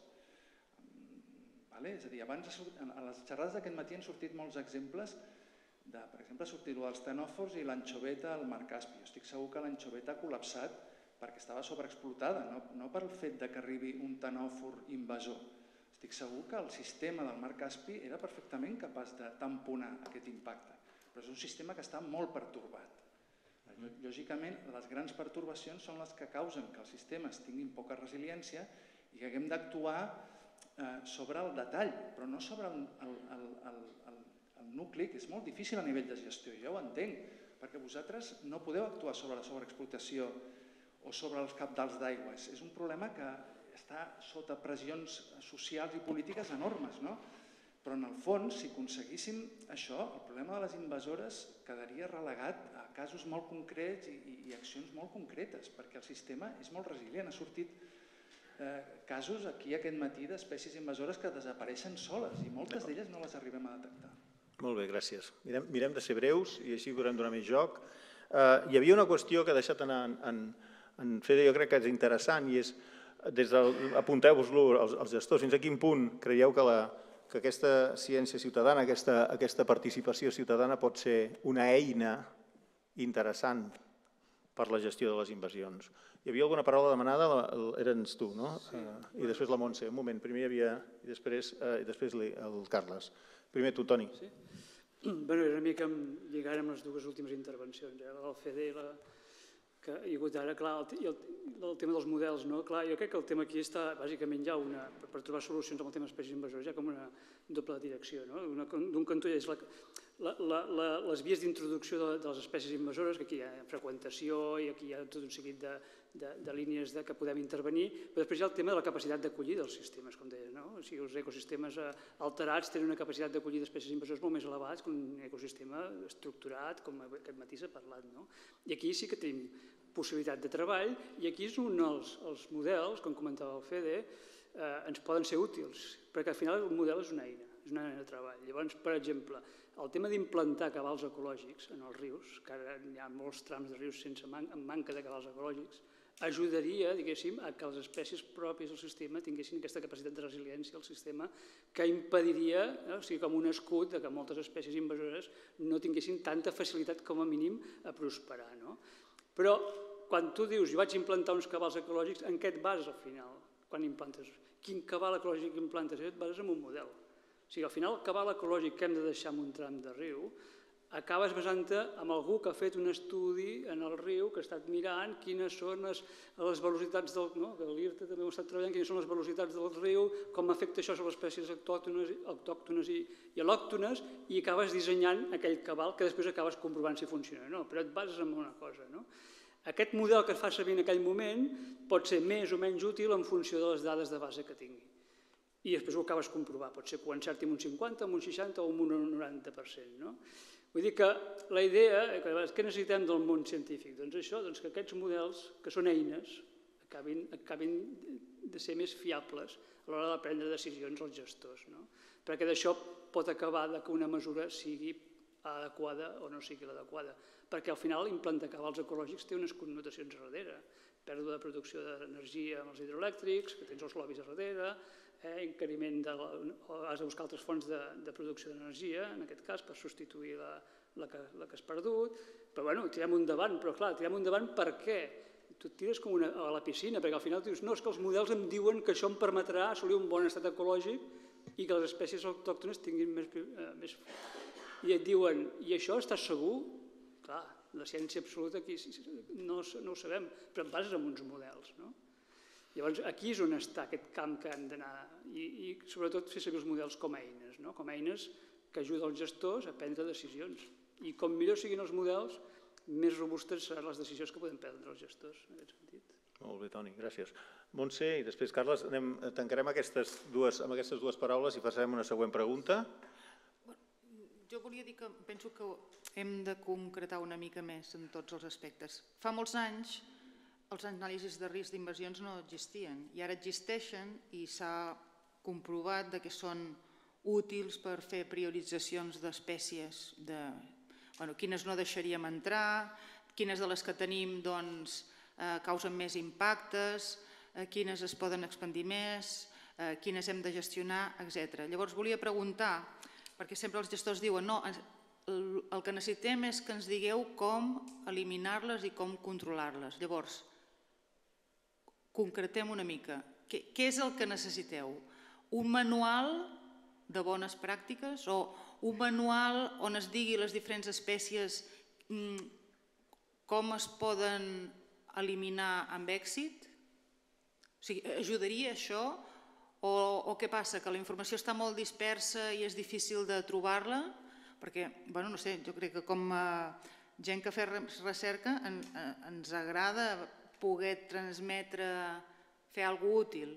Per tant, si ho podeu concretar, potser podem pensar en un producte a curt termini. Quedem, recollim la pregunta. Uh, Carles? Sí, respecte a lo que ha dit el, el company de la Garrotxa en quant a solucions, no? eh, sí, que, sí que realment hi ha un cert problema de temps de reacció, no? perquè tampoc totes les, solu les solucions que s'apliquen a un lloc no poden, a lo millor no, no serveixen per un altre. I si ho comences a estudiar quan ja tens la, la, la invasió, eh, no arribes a temps. Això és el que està passant amb el, amb el caragol poma. Nosaltres estem fent experiments i veure quina solució és millor, però clar, ja, ja arribes tard i després també els impactes, no? perquè potser estàs aplicant una solució que tècnicament és bona, tirar, no sé, per exemple, saponines no? per controlar el caragol poma, però resulta que això té un impacte al medi aquàtic i a la producció de musclos i tal que, que, que és problemàtic. No? I per tant, eh, bueno, en aquest sentit, mm, tenir bons models de riscos d'invasió i poder seleccionar unes poques espècies que sabem que poden ser molt problemàtics i començar a pensar què fer en aquell context concret seria, seria, crec, molt important per tenir temps de reacció. Si no, podem estar aplicant solucions o que no funcionen o que tenen uns impactes que no són assumibles i no ho estem sabent.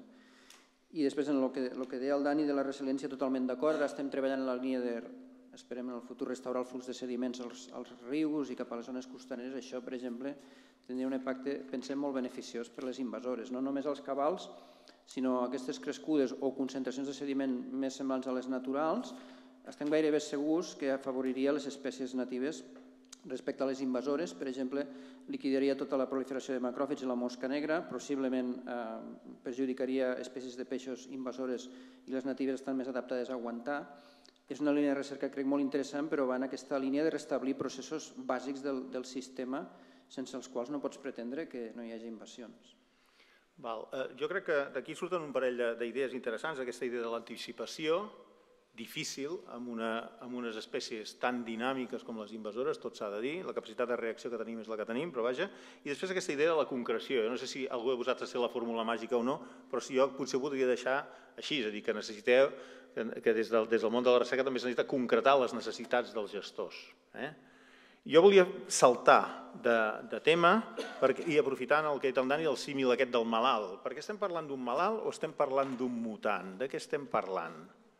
en el sentit següent. Ara tenim un organisme, un sistema, que podem considerar-lo malalt, però potser no, eh, és poc, fins i tot políticament poc correcte, no? dir que és un malalt perquè tots, són, tots els que ja no són els de casa, perdó, eh?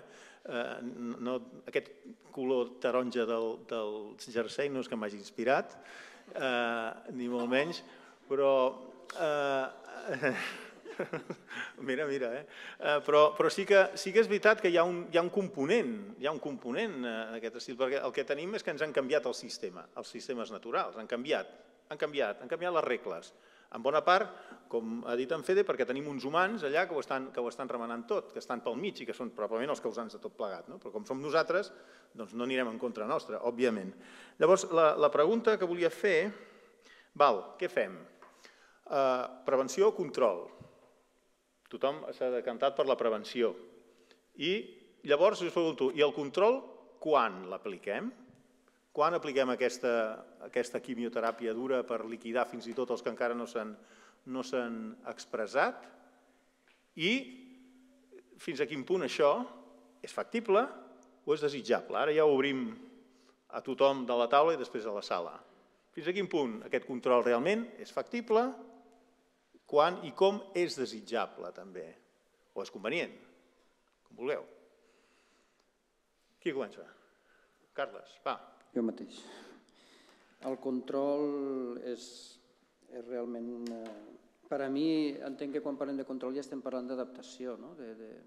d'una gestió adaptativa que a més és depenent del context i de, de la història d'aquell lloc i de, i, del, i de l'espècie en concret. No? Mm, per tant, no hi ha... O sigui, o, o enxampes l'espècie en el moment immediatament que entra i fas un intent d'erradicar, que també hauríem de mesurar molt bé quina és la inversió per erradicar i no gastar més diners dels necessaris quan ja veiem, no? tenir criteris també científics per a, per a de, prendre la decisió important que és abandonem aquesta... No? Això, en el caragol poma ja s'ha produït ara, no? Deixem aquesta estratègia i passem a invertir en, en, en, control que bàsicament al final és adaptació. I adaptació sobretot crec jo per a, això, per a també evitar impactes eh, negatius de, de, de la gestió que en poden haver molts. I adaptació vol dir aprendre a conviure amb elles? Sí, sí. Per tant, a l'Emili li donem males notícies. Allò que volies em sembla que no, no t'ho donaran, eh, aquesta gent, perquè els mecanismes de control, per tant, en molts casos, pot ser que ja arribin tard, no? però poden ser aplicables o poden ser desitjables en determinats casos? Quins casos? Jo, jo, jo entenc que el control bàsicament és reduir les poblacions. No? O sigui, bàsicament el que estem parlant és de mantenir unes poblacions a un nivell de densitat, no? s'ha parlat abans, del, de, l'Ignasi parlava del, del, del tema de la densitat, no? és clau, no? és a dir, una invasió eh, té a veure amb la densitat. Eh, quina és la densitat que tu vols per aquella població? És a dir, assumint que ja l'erradicació doncs, doncs no és possible. No? I jo crec que això eh, és, és bàsic fer aquest canvi que deies tu, Carles, d'assumir això ja no es pot erradicar, a ho hem de passar a controlar i aleshores quin és el nivell no? o l'esforç de control que s'ha de fer i per què. Si estàs parlant, per exemple, d'una espècie com el mosquit tigre, que té problemes de salut pública importants al darrere, doncs requeriràs un nivell de control i una inversió de diners. Si estàs parlant d'espècies que afecten a l'ecosistema de manera brutal i hi ha sectors econòmics importants al darrere, doncs segurament, és a dir, la decisió ja no és la decisió del quin nivell de control ja escapa de les mans de l'ecologia i, i aquest és part del problema. No? Però... Sí, d'acord, però en tot cas la prevenció ja hem dit que és la nostra principal aposta, però el control, per tant, l'hem de descartar sempre o quan no, Ricard? Sí, en aquest sentit, control seria una mica sinònim de contenció, és a dir, el que estem dient, eh? per evitar, intentar més o no, eh, minimitzar al màxim, no? el possible, el que és el tema dels efectes eh, adversos que genera. Jo aprofitant el cargol poma, començava el Carles, efectivament, o sigui, ara bàsicament en el que és el Delta de l'Ebre, vale, bàsicament estem parlant una mica de contenció. Vale? Eh, vosaltres esteu investigant jo que sé, sistemes no, no, de resistència, el tema d'un tipus de conreu d'arròs no, no, que, que sigui resistent al cargol poma, el tema de mm, sistemes selectius una mica de contenció, diguem-ho així, en lloc de control, de contenció. Però, per exemple, el tema de prevenció va sortir el cas de cargol poma gràcies al seguiment que es va fer a Pals, vas o no, al camps d'arròs a Pals, i justament es va actuar, gràcies una mica a l'experiència que s'havia adquirit al Delta de l'Ebre, es va actuar i es va erradicar. És a dir, el tema de l'erradicació, o sigui, el tema preventiu sempre ha d'estar present. Vale? Llavors, en el cas concret, quan es detecta l'inici, eh, és la manera d'erradicar-lo, que sí que hi ha possibilitats d'erradicació quan és el començament molt focalitzat i saber una mica quines les experiències de contenció o de control, doncs, aplicar-les. Vale? Però dir, per això dic, també depèn de moltes espècies, però en general és eh, el que deia, eh, bàsicament contenció, perquè erradicació és molt difícil, no sé que sigui en moment imminent de la detecció en un lloc concret. No? Sí. Algú, ara, ara, a veure, aquí, eh, qui comença, en Jaume o en l'Emili, per al·lusions? Per al·lusions. I després en Jaume. Estic d'acord, eh? Amb el... Ah, francès, perdona. Estic d'acord amb el sí. tema de la, de la prevenció que, que hauria de ser eh, prioritari, però eh, difícilment controlable. És a dir, t'arriben tantes coses tan diferents, per tantes vies d'entrada, per tants sistemes que no controles, que prevenir eh, podem, podem dedicar-hi esforços, però és molt difícil. Eh? Qui ens havia de dir que, doncs, eh, que tindríem el que tenim en aquests moments a nivell d'espècies de, de, vingudes de vés a saber on. Això una cosa. Evidentment que el tema del control només és viable en les primeres fases de la invasió i que després l'única cosa que podem establir, no sé, ho situaria o, o, o definiria com un llindar de permissivitat, és a dir, com un llindar en la qual, mentre es mantingui en aquests nivells aquesta espècie, doncs assumim eh, els danys que aquesta eh, pugui provocar. I posaré un exemple que, que nosaltres ens hi trobem per posar casos pràctics. Eh? Vespa velutina. Mm? La vespa velutina va arribar a França i va avançar com, a, com, com una taca d'oli i era previsible que arribaria, que era qüestió de temps. Com tantes altres espècies arriben eh, per, perquè, bueno, perquè els hi toca venir, perquè han arribat als països veïns i, i, i ens va, es, es van acostant. Hem gastat molts de cèntims, per exemple, en eliminar els nius. I hem vist que aquesta acció era inviable perquè aquesta espècie té un sistema, té una estratègia biològica, té un cicle vital que fa inviable poder-hi eh, arribar a temps. On estem, on estem ara? Estem en què les poblacions d'aquesta espècie de vespa provoquin els mínims danys possibles al sector de l'apicultura. Aquí seria on te faria falta la recerca. Aquí seria on assajos eh, per provar diferents sistemes, ja no per controlar ni erradicar l'espècie, sinó per veure com la situem en un llindar en la qual doncs, eh, aquesta espècie provoca els mínims danys possibles. I un altre exemple que també voldria posar, que a vegades la recerca o la, o la ciència va per un camí que jo penso equivocat, que a vegades és lluitar eh, contra les espècies invasores posant-hi més espècies invasores. Per exemple, Driocosmus curifilus, la vespeta del castanyer. A Itàlia són els mateixos acadèmics la mateixa ciència que provoca, que demana, o que reclama, o que proposa lluitar contra aquesta vespeta introduint un parasitoid que també és una altra espècie invasora, eh, que és el Turimus sinensis. Aleshores, a vegades aquests sistemes de control de lluites biològiques s'ha d'anar molt en compte perquè allò que diuen de, que a vegades fa més mal el remei que la malaltia, hem de situar a vegades aquests efectes de, de quins sistemes utilitzem de control o de lluita de les espècies invasores. Um, teniu la paraula al costat. Uh, també, també crec que és interessant que, que focalitzem altres, altres punts on la, on, la, on la intervenció pot ser important. Hem parlat de sectors, de territoris, però també podríem parlar d'hàbitats o d'espècies concretes que es veuen que són d'interès per la conservació. Segurament que la teva perspectiva com a gestor d'un parc natural doncs és important en aquesta, eh, té, té, té, té un pes important a l'hora de, de, de triar l'estratègia d'intentar controlar allò que sigui possible, no? També? Endavant. Jo volia dir una cosa. Ah, sí. sí.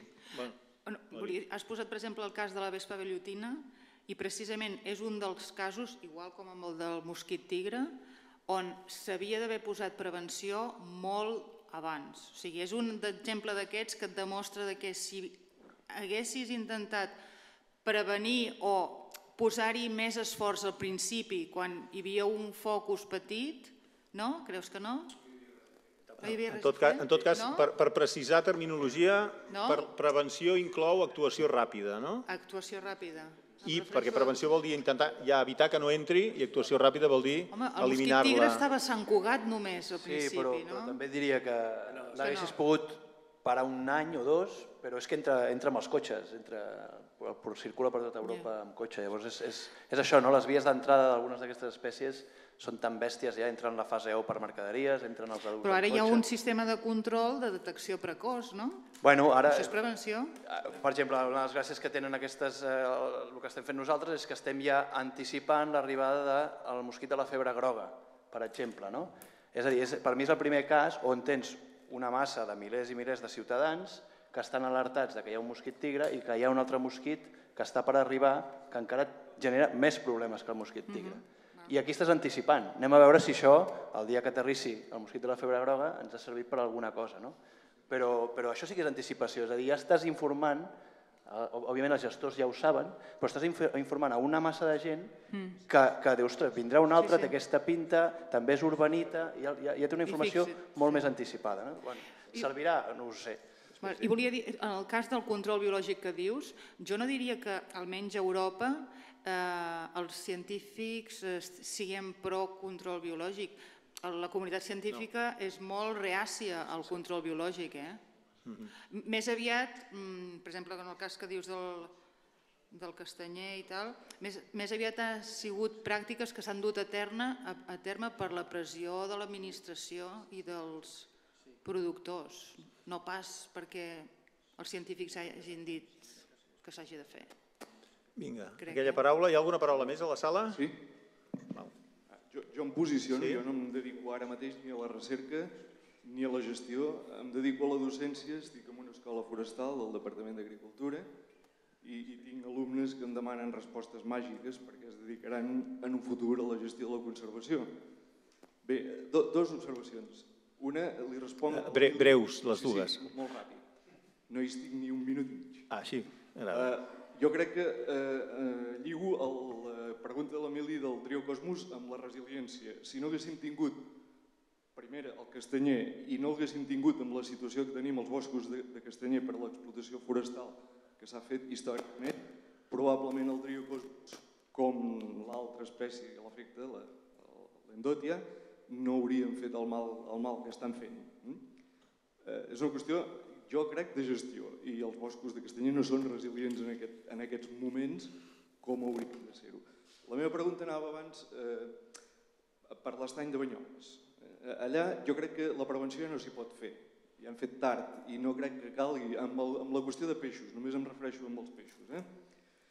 Eh, pel que fa a la, al control, em pregunto mm, el sentit, els que sou experts en peixos podem, ho explicareu millor, jo, jo crec que és bastant ineficaç el control que s'està fent de peixos en aquests moments a l'estany de Banyoles i que sí que haurem fet una contenció, però que d'aquí a cinc anys tornarem a estar sis al mateix lloc que estàvem ara en aquests moments. Sé que les espècies exòtiques cotitzen i que és fàcil demanar diners per poder fer coses al, al respecte, però si m'ho podeu respondre, en Freddy em sembla que parlava d'un cas paradigmàtic de Banyoles, jo precisament no li veig gens de paradigmàtic, perquè justament els peixos petits, si ho tinc ben entès, no s'agafen. Llavors, d'aquí poc temps tornarem a tenir les poblacions amb la mateixa situació.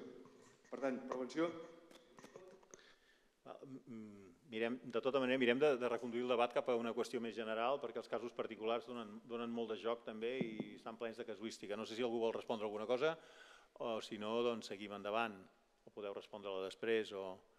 En Carles havia demanat la paraula. Bueno, Ets- és el món aquàtic, Carles, El, el que havia si- sortit abans, la meva opinió, generalitzant, eh, és que si estem parlant de bitxos molt petits i amb una taxa de reproducció molt ràpida, super R, per dir-ho així, jo crec que això d'intentar evitar ni que entrin ni, que, ni erradicar-los, jo diria que és, algú pretén eh, aconseguir erradicar les rates o, o els mosquits, no, jo crec que no té sentit. En tot cas, el que has de saber és anticipar-te i veure, intentar veure com, o sigui, detectar-ho, però també per gestionar-ho millor i per intentar adaptar-te el millor possible a com se comportarà aquella espècie en aquell lloc, però sabent que possiblement, bueno, no dic que no s'hagi d'intentar, però que possiblement determinat tipus d'espècies no, no les aconseguiràs erradicar, ni tan sols al principi. dir. Alguna contrarèplica? O alguna... Aquí, ah, una paraula, Antoni. An, Fede i Antoni. Va. No, bueno, jo crec que Ah, el, Antoni tema, el tema de la prevenció, eh, agafant el símil, el símil del malalt, no? és com el tema del... De, o sigui, portar una vida saludable sempre pot previndre a, a, a, rebaixar el risc de càncer, però no vol dir que, que eviti agafar el càncer. Llavors, crec que la prevenció és, eh, és importantíssima que la tinguem. I moltes de les espècies que tenim avui dia als sistemes, com a mínim els aquàtics, ha sigut una manca de previsió, de previsió i de, i de prevenció en el seu moment. Eh? Per exemple, la pseudoresbora parva que tenim al Delta de l'Ebre, el, el, el cargol poma, bueno, doncs allà hi havia un seguit d'activitats que en el seu moment no es van, no es van actuar, no es va preveure, prevent, no, no va haver-hi uns sistemes de prevenció adequats. No? Per tant, el tema de prevenció és importantíssim qui sigui, l'hem d'actuar, l'hem d'incorporar. Però això no evita que es pugui introduir espècies, no? perquè la incertesa, el grau d'incertesa hi és. Llavors hi ha el segon pas, que és el tema del control. I per mi el control, si està incipient, té un sentit. Per exemple, el tema de la, de l'eclosió asiàtica a Banyoles, que està exactament allà, a la zona de bany, eh, allà sí que té un sentit abocar-hi tot el sac i demà les atxes, perquè encara està allà i encara hi tenim capacitat d'actuar. Un cop s'ha dispersat i ha, i ha envaït tot, un, tot l'estany o ha envaït un... Llavors ja no deixa de tenir sentit. Aquí, per exemple, eh, l'Agència Catalana de l'Aigua, molts d'anys s'ha gastat diners en controlar i erradicar la canya americana. No? Ha sigut- inútil, inútil. Anaves allà, feien les tassades de canya americana, anaves al cap de dos anys o mig any i tornava a estar ple de canya americana. Això no té cap sentit. Quin sentit, com has d'actuar aquí? El que dèiem abans. Eh, incrementar l'estat integral de l'ecosistema perquè la canya americana es vagi sentint cada cop menys, eh, menys mm, eh, còmoda dins aquest ecosistema i quedi diguéssim, controlada. O sigui, si eh, som capaços de restaurar cabals ecològics, la integritat dels sistemes, eh, de l'ecosistema, aquestes espècies cada cop aniran quedant més relictuals o deixaran de fer tant de mal. No? Per mi el control eh, no seria tant amb el, el control, sí, el control incipient, eh, però si no és actuar no sobre l'espècie invasora, sinó sobre el sistema, eh, diguéssim, potencial, potenciant l'espècie pròpia autòctona envers de la, de la invasora. Aquest seria, jo crec, la, la solució. No? Perquè ja dic que nosaltres tenim experiències sobre actuació amb espècies invasores completament inútils i estirar diner públic al final. Uh, Carla, ah, no, PD... Jo, bueno, jo només volia afegir que crec que es parla poc aquí de la part d'educació. És a dir, sempre hi ha element, estem parlant gestors i ciència, i hi ha la ciutadania. La ciutadania són molta gent. I molta gent informada pot fer moltes coses. No? Llavors jo sempre penso que, que no tenim uns models de gestió recerca eh, on hi hagi un flux de transmissió d'informació adequat a la ciutadania. És a dir, ciutadania en el sentit de poden ser gent del sector X, no? És a dir, ara li comentava, no? si, si aquesta aquestes persones que estan al Delta, que treballen l'arròs, de sobte són informats anticipadament que arribarà un cargol que fa uns ous de colofúcsia, eh, doncs, ostres, eh, això és molt fàcil. Aquesta transmissió d'informació no és trivial. No? És a dir, es requereix inversió de diners, requereix un tipus de perfil de persona eh, que pugui divulgar aquesta informació de forma clara i concisa, de que neix de, de, de, de, no són ni científics, que no ho sabem fer, això de comunicar en general, i potser tampoc són els gestors perquè mm, tampoc eh, és el seu paper. No? És a dir, hi ha un element aquí que, que jo crec que, que, que estem deixant de banda i que crec que en el futur eh, eh cada cop serà doncs, més clar que la ciutadania té pes, eh, justament per gestionar aquests problemes. És a dir, si, si jo educo a nivell de la resiliència dels ecosistemes, és una manera, no? Eh, òbviament tots fem tasques de divulgació i educació i els parcs naturals també, no? però potser, és a dir, en la línia d'invasions, aquestes llistes d'invasores, qui les veu? Jo, no, no, vull dir, jo, jo sé que existeix, però potser en conec un 1% eh, d'aquesta llista. No? És a dir, clar que la Generalitat té un, una pàgina web i tal. Escolta, aquesta llista es pot posar en una aplicació al mòbil, es pot informar la gent, es pot, posar, es pot comunicar des del Twitter i el Facebook, eh, eh, saps? Okay. És a dir, aquí hi ha un element que jo crec que la transmissió d'informació i el model de com es transmet la informació eh, és important. Hi ha, hi ha una qüestió aquí que és interessant. Carles, vols afegir alguna cosa? Et volies tu afegir? Jo crec que és una, això porta un tema sobre la taula, és el següent. Molt bé, la, la comunicació és important per a aquestes, a, aquesta detecció i eliminació ràpida. Però l'educació, la comunicació, pel que fa a les invasions que ja tenim a casa nostra, que podem acabar desencadenant una mena de caça de bruixes, no? Eh, perquè eh, el tema aquest de l'educació, això té un doble vessant. Eh, com, com ens eduquem, com comuniquem les invasions que ja tenim a casa nostra i que ja no tenen remei. Què fem amb això? Alguna idea? Jo, jo crec que és molt interessant que, que la gent sàpiga que hi ha gent treballant en el control de, una sèrie de per coses. Per això ens torna a ficar sobre la taula el, síndrome, el símil aquest, del malalt o del mutant. És a dir, ah, perquè, bueno, el, esclar, malalt, correcte. Eh, som, és un malalt? De, bueno, però deixa'm agafar aquest símil, és a dir, uh, tu saps quins són els hàbits sants. Tu saps que menjar certes coses no t'aniria bé. Hi ha una transmissió d'informació brutal al respecte d'això. Tu tens com a ciutadà la capacitat d'escollir. Em compro un dònut o em compro una poma. I saps quines diferències hi ha, no? Doncs si tu no informes, jo, jo ara parlo d'informació plana, això s'està fent per intentar controlar aquesta espècie. Bueno, això genera una sensibilització, és a dir, no cal ser, no? És, és això, és quin nivell d'informació vols transmetre. És dir, tenim un problema supergreu. No, és, escolta, hi ha aquest problema, hi ha gent treballant, informa'm si veus qualsevol cosa, per exemple. No, no cal, és a dir, la, la gràcia d'aquesta transmissió d'informació és que el control el tenen els gestors, però hi ha moltes coses que no s'informen que estaria molt bé d'informar. No cal informar-ho tot, no cal informar que hi ha centenars de casos de dengue a Barcelona. No cal. N'hi ha. Val? Eh, a la gent què, què n'ha de fer d'això? Res. Tu l'únic que has de saber és que compta amb el mosquit tigre, hi ha una gent que està controlant això, dona'ns un cop de mà.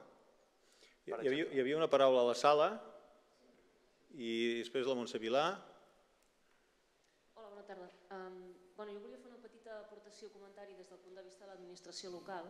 Uh, jo treballo a l'Ajuntament de Palafrugell, soc tècnica de medi ambient i considero que bé, el nostre Ajuntament és molt afortunat perquè té una partida des de fa 10 anys, a, en aquest cas és a control, és a dir, erradicació d'invasores.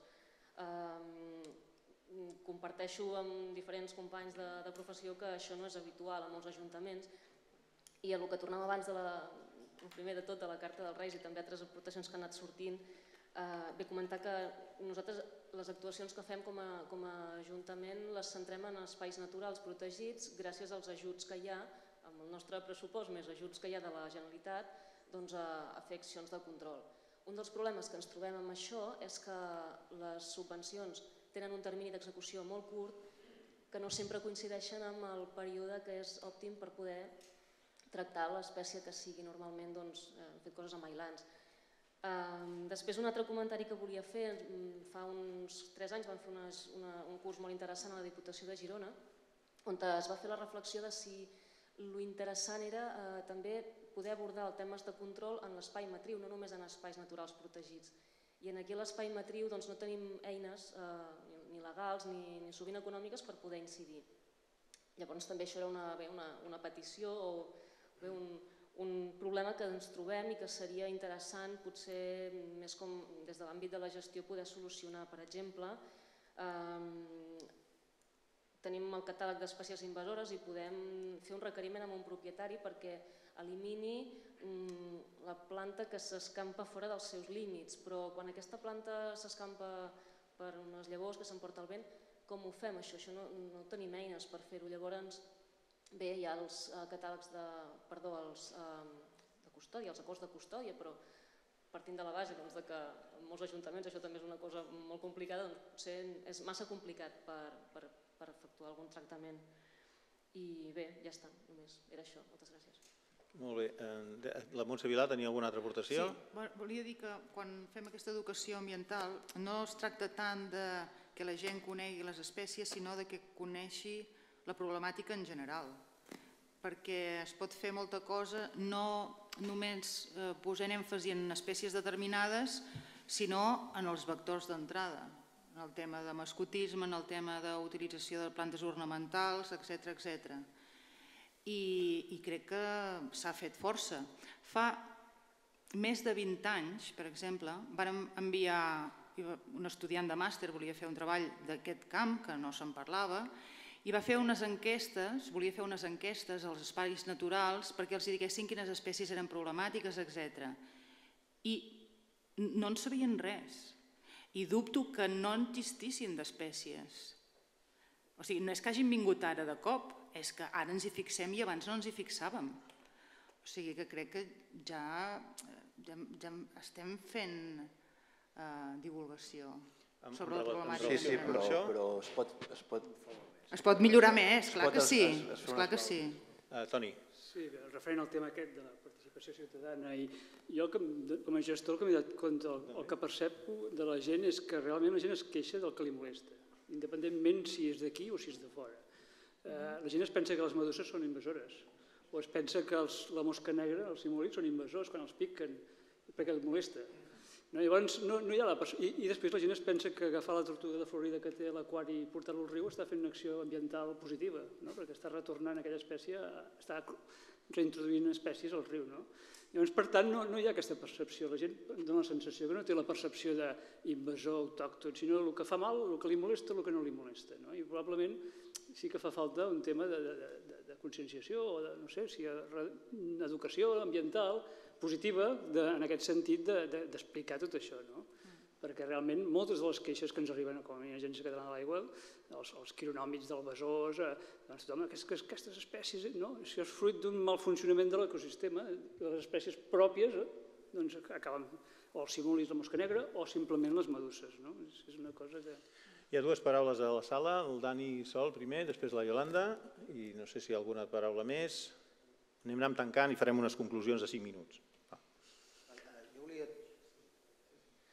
Jo volia tornar a la, a la idea que ha sortit abans de, sobre si hem de separar la recerca bàsica i la recerca aplicada i per mi, per molts, eh, bueno, s'ha comentat abans que, que s'hauria de prioritzar el tema d'invasions la recerca més aplicada, no tant la, la recerca bàsica.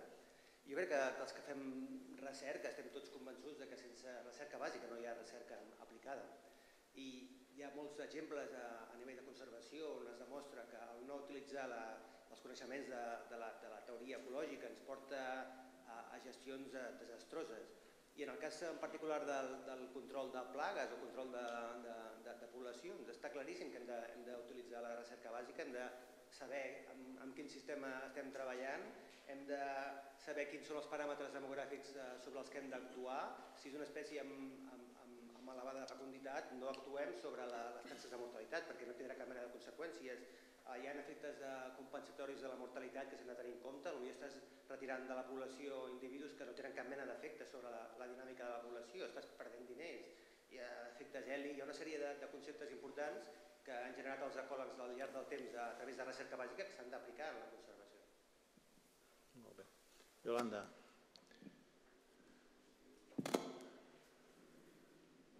Hola, jo només volia dir en relació a l'educació al ciutadà que em sembla també que és molt important per potencial que tenen com a participants a nivell de control. Moltes vegades la, la manca de l'èxit del control és un problema temporal, com deia Frederic, eh, Fede, no? i espacial. Normalment les espècies invasores són espècies amb una capacitat d'expressió enorme i actuar a escala molt petita, quan ja està eh, com es diu, quan és una inversió que ocupa una gran escala espacial, no fa res, perquè normalment l'any següent ja està totalment ocupat. I el problema de que no sigui exitós normalment és un problema de finançament i de personal. En canvi, eh, si participa la ciutadania com a treballador gratis, diguem no sona molt malament, però a nivell de control eh, és possible. De fet, jo he treballat en el cas de, de control de visor americà d'Escòcia, que es basa pràcticament en, en ciutadans que controlen el propi visor, i ha funcionat. O sigui, no s'ha erradicat, perquè és impossible, però ha de suficients densitats molt baixes de que no afecta la, a, a les espècies natives. I el cost és mínim. Però l'èxit ha, sigut per, bueno, per la força de treball dels voluntaris durant 10 anys, tot l'any, amb trampejos, i hi ha una escala de 20.000 20, 20.000 quilòmetres quadrats, o sigui, és una escala de, de, que, com, que, que té en compte no, la capacitat d'expressió de l'espècie concreta. És que en aquest, pas, aquest, aquest pas més que, que jo crec que estava parlant era, és exactament aquest, és a dir, tu, no és només la comunicació, eh, insisteixo, no? hi ha webs, hi ha portals, hi ha telèfons mòbils, dir, hi ha ara maneres de mobilitzar persones en, territorialment que són, són la monda. Però si hem muntat aquí eh, manifestacions de milions de persones, és a dir, a base de xarxes socials, és a dir, aquest poder és el que jo entenc que, que en el futur eh, s'haurà d'utilitzar no com una substitució, com tu molt bé deies, sinó perquè simplement la gestió és tan complicada que necessites la implicació d'aquest teixit social en el territori, directament. I, i no és perquè mm, desviem aquests diners que ja ens ajudarà aquesta gent, sinó és amb els pocs diners que hi ha jo crec que introduir la ciutadania de forma conscient i activa eh, pot mobilitzar els pocs recursos que hi ha de manera molt més efectiva. I el primer pas és informar, però després es poden fer moltes coses, no? que ja es fan, eh? jo estic d'acord. Eh? El que jo vinc a dir és que ara hi ha una potència eh, amb les noves tecnologies d'organitzar aquestes coses, òbviament amb, amb, amb, amb coses no virtuals i coses presencials, no? una combinació, però vols tenir una comunitat organitzada motivada per un, per un, per un os, o motivada per, eh, per un ocell, o motivada perquè anem a treure... És a dir, i que això funcioni no, no, no de, forma, de forma natural, és a dir, no, no, no apretant a la gent, no? Però és que aquestes coses eh, apareixen, per exemple, en el cas del mosquit, quan nosaltres vam començar a treballar, hi havia eh, Facebooks un, amb milers de persones, eh, todos contra el mosquito tigre, o sigui, s'havien autoorganitzat a nivell de xarxes, hi ha una sèrie de persones absolutament diferents que havien decidit que que tenien aquest emblema i aquesta motivació. Doncs això és el que jo crec que eh, com, a, com a científics i com a gestors hauríem de, de saber aprofitar per la pròxima dècada. No? Sí, una paraula última.